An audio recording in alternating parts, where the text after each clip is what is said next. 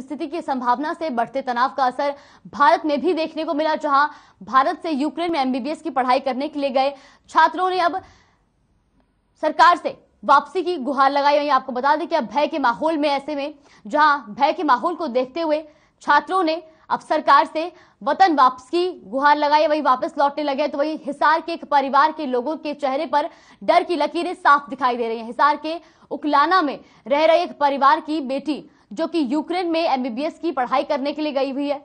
वही आपको बता दें कि एमबीबीएस की द्वितीय वर्ष की युवती पढ़ाई कर रही है, उसको परिवार के लोगों ने तुरंत प्रभाव से डबल किराया लगाकर वापस बुला लिया है। वह इस मामले पर अब हमारे संवाददाता अनूप कुंडू ने छात्रा से खास बातचीत की। क्या कुछ कहा उन्होंने? आइए आपको सुनवाते हैं। यूक्रेन में लगातार रूस के साथ जिस प्रकार से युद्ध की बातें सामने आ रही हैं, उस तनाव स्थिति को देखते हुए कहीं न कहीं इसका असर भारत पर भी देखने को मिल रहा है। कुछ परिवार ऐसे हैं जिनके बच्चे यूक्रेन में पढ़ रहे हैं और उस परिवार के लोगों के साथ अगर हम देखें तो आज वो एक ऐसे माहौल में है डरा हुआ माहौल हम उसको कह सकते हैं। ऐसे माहौल में वो लोग हैं। हमारे साथ एक ऐसे ही अभिभावक मौजूद हैं जिला हिसार के उकलाना में पवन कुमार जी जिनकी बेटी वहाँ पर एमबीबीएस की पढ़ाई कर रही है। आइए उनसे बातचीत कर लेते हैं कि ऐसे माहौल को लेकर के क्या कुछ उनके दिमाग में चल रहा है। पवन जी स्वागत है हर खबर में धन्यवाद जी। आपकी बेटी वहाँ पर पढ़ रही है क्या नाम है और कब कौन सा ईयर उसका चल रहा है? उसका नाम दीक्षा गोयल है दूसरा साल उसका चल रहा है। तो अब वो वहीं पर है या आने वाले हैं यहाँ पर? अभी तो वहीं पर है तेईस तारीख को उसकी फ़्लाइट है। तेईस तारीख को यहाँ पर आ रही हैं। चौबीस को तेईस की फ़्लाइट है चौबीस को यहाँ आ जाएगी। तो आप बीच में बुलाने का रीजन क्या है? रीजन जो माहौल यूक्रेन में खराब है माहौल की वजह से तनावपूर्ण माहौल बना हुआ है उस वजह से हम अपनी गुड़िया को बुला रहे हैं। तो आपको लगता है अभी वहाँ पर सामान्य स्थिति नहीं है? अभी सामान्य स्थिति नहीं है। न्यूज़ में डेली उधर की खबर आ रही है माहौल बिगड़ता बिगड़ रहा है ज़्यादा ज़्यादा। तो उनकी आने की व्यवस्था अब कैसी हुई? फ्लैट बाई फ्लैट से।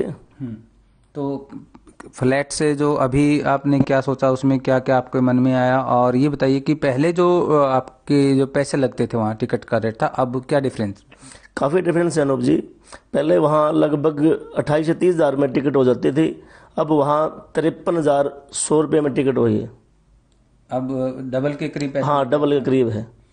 तो जो फ़्लाइट के अभी आपको पता चला था एयरलाइंस इंडिया का उसके बाद आपको ये टिकट बुक करवाई हाँ उसके बाद। पहले तो हमने ये सोचा सरकार डिस्काउंट रेट में फ़्लाइट करेगी तो जो इंडिया ने एयर इंडिया ने फ़्लाइट भेजी उसका किराया तो लगभग साठ हज़ार रुपये है। हमने दूसरी ट्राई ऑनलाइन ट्राई की तो वहाँ तिरपन हज़ार समथिंग कुछ में टिकट बुक करवाई है। तो एयरलाइंस इंडिया का और भी महँगा किराया? हाँ और भी महँगा सर जी। तो सरकार से क्या गुहार है? सरकार से यही गुहार है हमारी भी बच्चों को कंट्रोल रेट में जो सामान्य रेट है उस रेट में बच्चों टिकट हम करवाएँ। तो अब महँगा चल रहा है बिल्कुल महँगा चल रहा है ब्लैक चल रही है। लाख लाख रुपए तक भी किराया हो लिया तो अब कब तक आपकी बिटिया यहाँ पर पहुँच बिटिया चौबीस तारीख को यहाँ पहुँच जाएगी। तेईस की उसकी फ़्लाइट है दोपहर बाद चौबीस सुबह को दिल्ली पहुँच जाएगी दिल्ली से यहाँ पहुँच जाएगी। तो आ, हमारे साथ एक अभिभावक जुड़े और इन्होंने बताया कि किस प्रकार से यूक्रेन में एक माहौल क्रिएट हो चुका है युद्ध जैसी स्थिति वहाँ पर बन चुकी है।